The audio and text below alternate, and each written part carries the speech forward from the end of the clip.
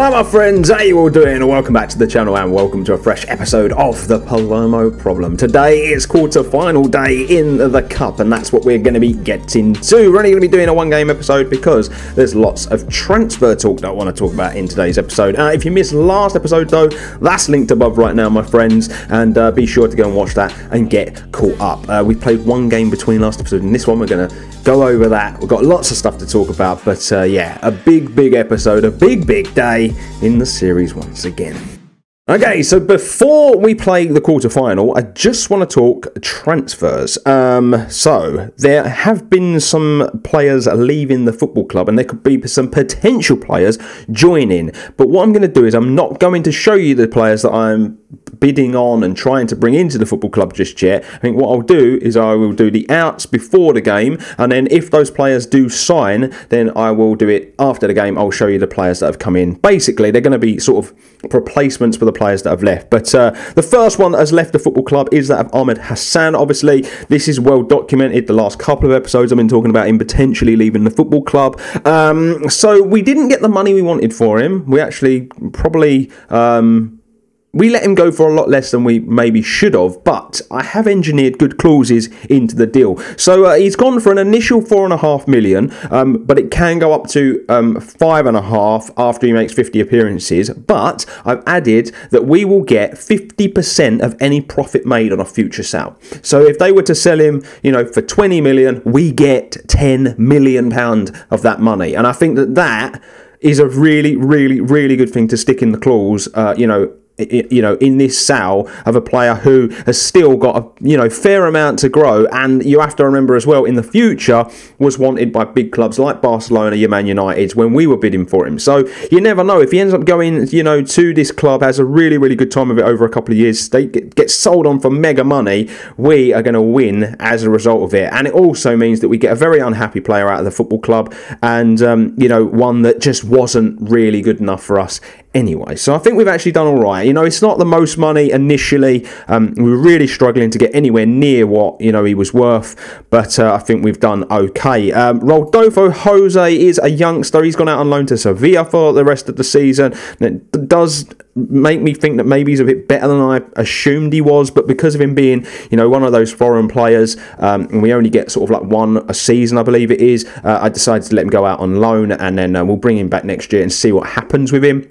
He's out on loan for the rest of the season. And the last one is that of Luca Ranieri. I spoke about this player potentially leaving the football club last episode, and he has done so. He's gone to Sassuolo for five million pound, which is a huge, huge, you know, profit on the 500k that we played for him. Um, relatively inconsistent player, kind of gets caught out a fair amount, and uh, yeah, I just feel like there's probably better players out there. Layson has been very, very good this season. I think that we can make do with Buta as a backup left-sided, you know, left back um, and we can go after a sort of another backup left back in the summer. We need a backup right back. It really the summer is going to be about strength in depth. I think that the first team is there or thereabouts. I still think we need some additions, um, but um, yeah, I think that we're looking okay. So they're the sales. We've made a, a, good little bit of money there, ladies and gents. So you know, like we have actually got 8.6 million pound now to spend, a little bit of wages, and so um, yeah, I've got some bids in place. I'm not going to show you them yet. I'm going to see if they actually manage to finalise because there are other clubs going after the players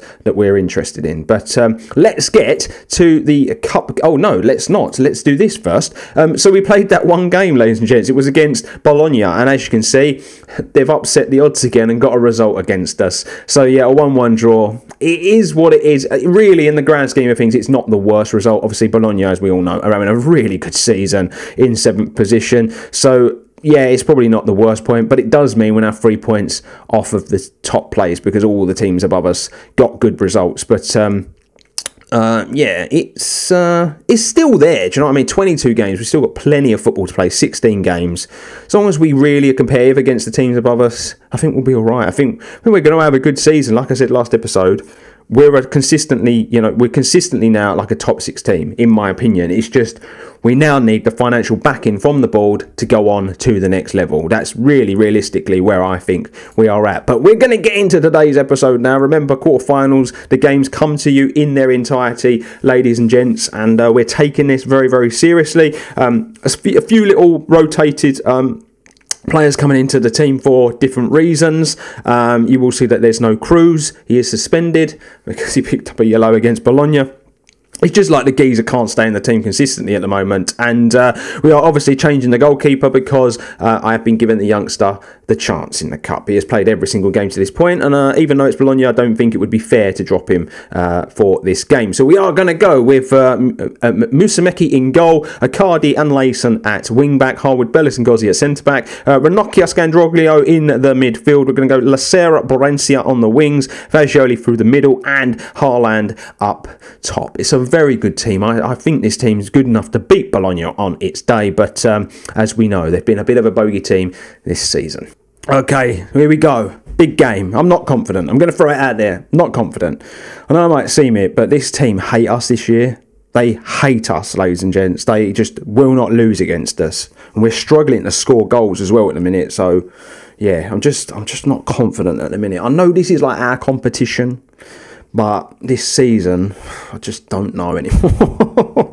I really just don't know. So we're going to wait and see what happens in this quarter-final game coming to you in its entirety, as you all well know at this point. But um, early stages suggest that we're playing all right. A couple of shots, good possession.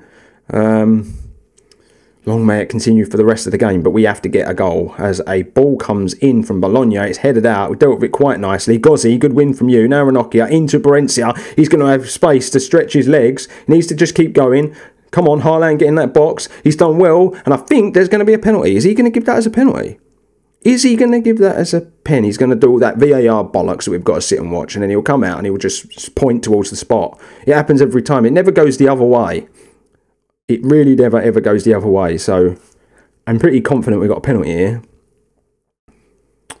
There you go. I told you he'd point to the spot, didn't I? And it is going to be Haaland. He is our penalty taker. Come on, Haaland. Put us 1 0 to the good inside 15 minutes. That would be bloody amazing. And he does. He always goes that side and he always goes for that corner. You would think the keepers would work it out. That's his 12th for the season. Thank you, Haaland. Where would we be without Haaland's goals? Honestly, ladies and gents, I do not know. But there is a throw in now to Bologna. We've given him way too much space there.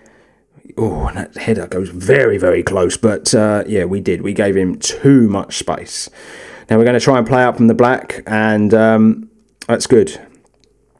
That's good. That's very good. Icardi is going to come forward. He's been given a lot of space here, Icardi. Get a ball in. No, instead he goes Lacera. Oh, that was a good effort. That was a very good effort. I would have liked to have seen an early ball in the box personally, but uh, instead we get a lovely little shot from Lacera, who for me this season has been worth his weight in gold. He has just been money over Virginius this year. And you know what?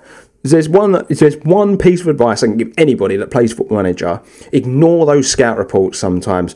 Just take a look at a player, look at his attributes, and make your own mind up. Virginius' attributes are head and shoulders above Lacera, but Virginius this season has done nothing compared to what Lacera's managed to achieve. So just shows you sometimes ignore what the coaches say.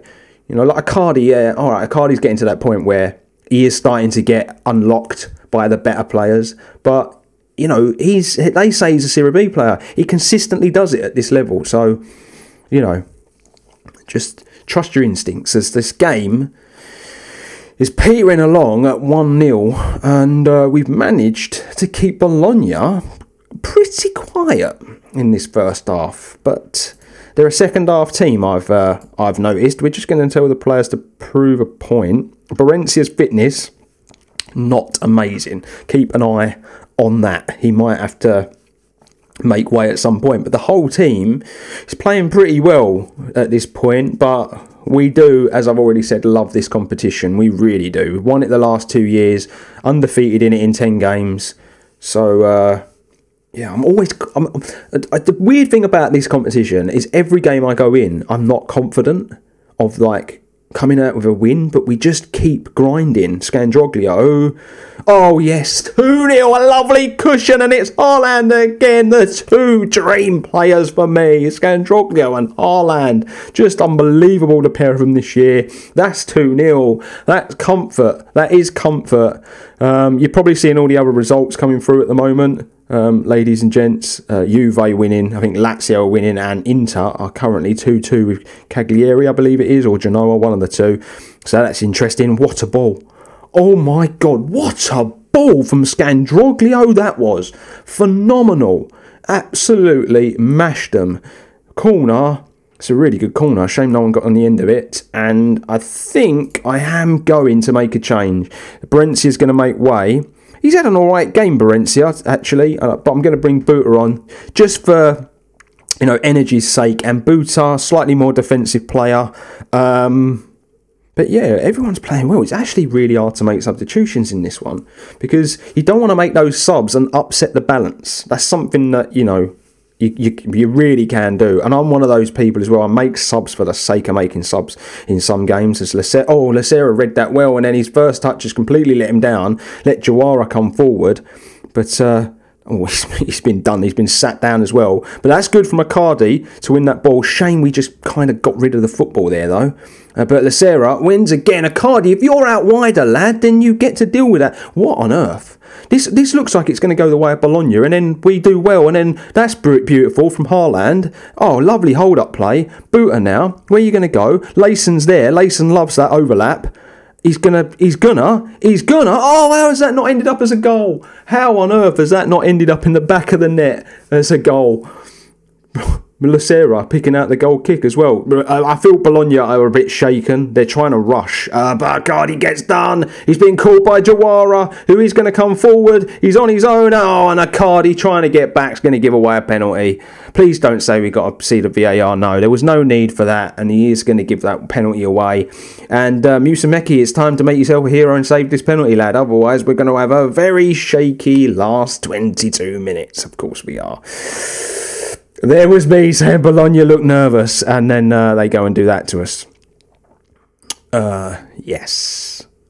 They just won't be beaten. Fagioli. What an awful game you're having all of a sudden. I didn't even notice that. Um, we're going to bring Meyer on in place of him. I didn't even see him having a bad game.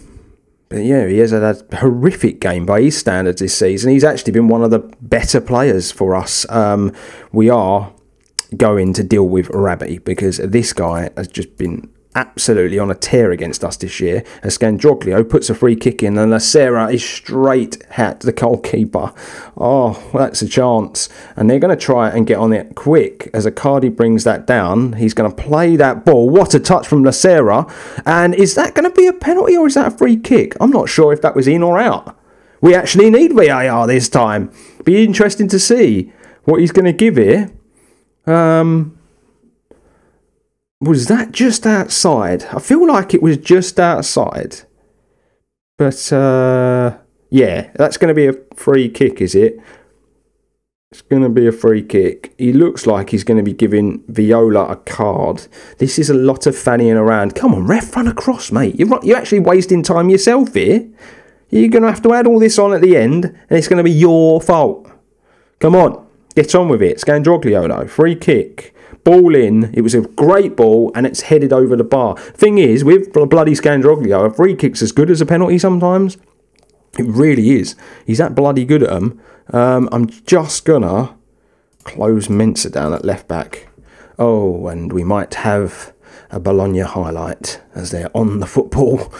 And uh, Yes, if we throw away a 2 0 lead, I will not be best pleased. But that's, oh, it was a good clearance from Layson. It's a shame that Haaland couldn't get on the end of it. Ball coming in. Oh, it's dealt with well. We've headed it out. Come on, win this, win this, win this. Well done, well done. Nice, Maya. Ball over the top. It's Haaland. Can he finish? Oh, I thought that was in. I thought it was in. Usually, when he takes it there, the keeper, he's not going to stand a chance. But Oh, it goes wide. It's agonisingly wide as well. Haaland's got a brace. I can't remember the last time Haaland got more than one in a game. I really can't. Oh, God. Come on. I'm so nervous. I'm so, so nervous. Scandroglio, Maya. Oh, we've got space. Icardi, get a ball in. He does. Oh, Buta finishes it. Buta finishes it. And finally, we get one over on this horrible team this season. Honestly, I hate the bloody sight of Bologna at the moment, but 3 1, get in there. Oh, lovely job. We, oh, we're going to be in the next round. And we're coming forward again. Lacera driving, driving, brilliant, brilliant. Oh, oh, that is that is sensational. That is sensational from Lacera. Unbelievable. What a little player, man. What a little player. Why did I ignore him? Why didn't I just continue to develop him? Ah, 4 1. Get in! Get in! Oh, bollocks. Um, so, yeah, you probably noticed that during the course of that game, the camera cut out. Yeah.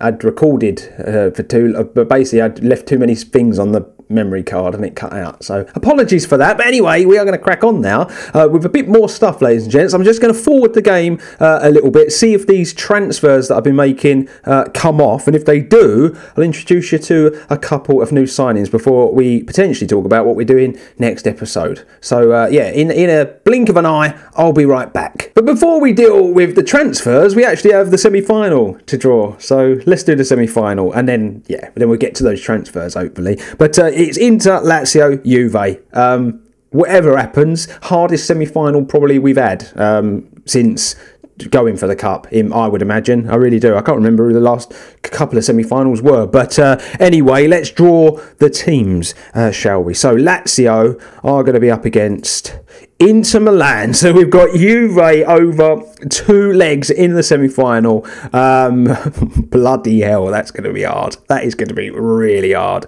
But um, anything's possible in this competition, uh, as we all bloody know.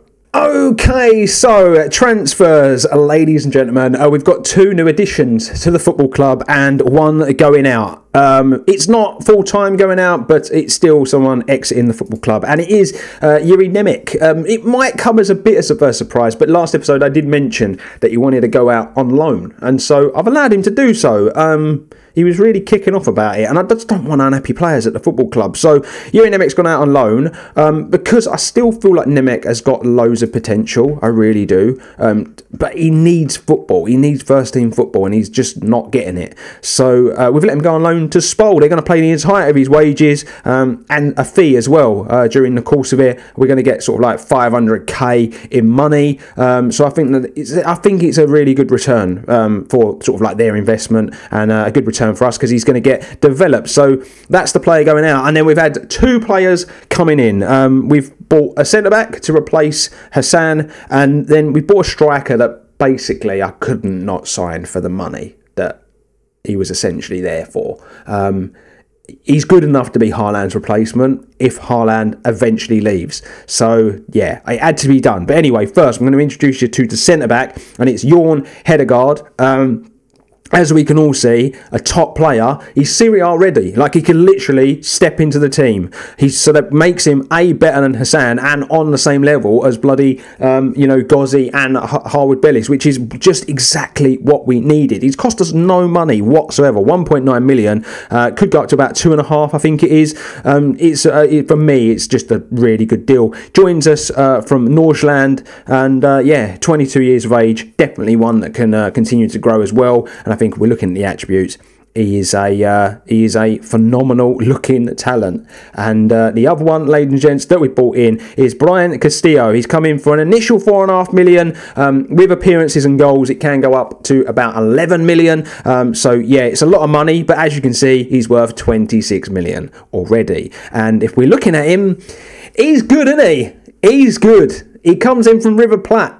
And uh, yeah, if he makes five appearances for the international team, though, he gets a wage rise up to like 75 grand a week, which is a little concerning. He has a minimum fee release clause of 55 million. So, yes, it's a minimum fee release clause, but that is a that is a sort of that's a safety one. At the end of the day, someone pays 55 million, look at the amount of money we're making on the player. You know, we're making 50 million pound. It's a massive, massive, you know, improvement on money. They they've lot they've made a loss. All right, they they might not if he ends up being really really good for us, but they've actually made a loss. But look at this. how can you not sign him? How could I not? How could I just could I not sign him, ladies and gents? Had to be done.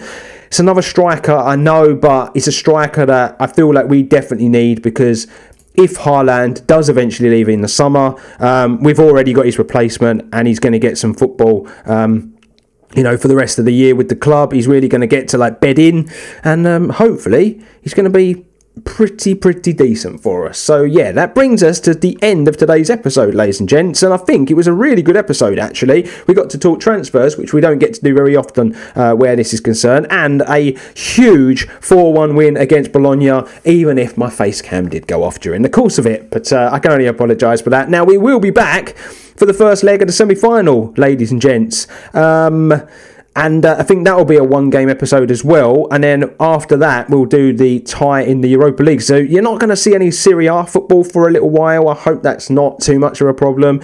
Um, but the cup competitions have kind of got a. Um, they're kind of going to take over for the next few episodes unfortunately. But uh, any of the big games in the league, then I think I'll definitely have to bring them to you. But if you're actually looking at that, there's not much football left to play, is there? It's a very, very interesting time. Nothing's changed as far as this is concerned because obviously we haven't played any league football in today's episode. But um, we've got a couple of big games uh, coming up. Every game's a big game when you're going after the title, in my opinion. But Brescia and Perugia are up next before we come back for Juve. So um, just keep everything crossed that we can get the wins we need. So there you have it, my friends. We're done and dusted for another episode of the Palermo Problem. Uh, pretty decent stuff today. Really, really happy with that quarterfinal win. Um, we continue to just grind this cup competition out, don't we? We're, we're fantastic in it, and I'm really happy that we got one over on Bologna. Bloody eventually this season. Hope. Let me know what you make of those signings. Uh, let me know what you make of the transfer business. You know, would you have sold those players? Would you have been happy to let them go for the money I have? Um, you know, and would you have spent the money the way I have as well? But uh, I'm done and dusted. Do all the usual. Subscribe, like, hit the bell notification button to never miss an episode. You find all my socials in Discord in the description box as always. But until next time, my friends, you've all been legends, and I'll see you all real, real soon.